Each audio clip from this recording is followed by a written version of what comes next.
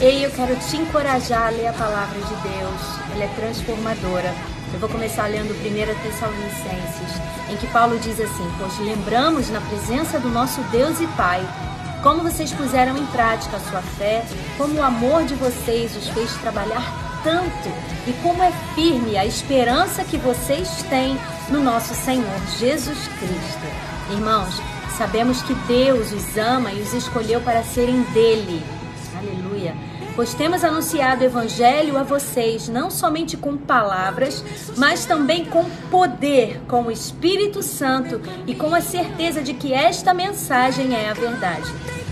Nós precisamos, nesse tempo, anunciar esse Evangelho com poder, cheios do Espírito Santo e tendo a certeza que essa é a verdade que vai transformar a vida das pessoas, a nossa própria vida.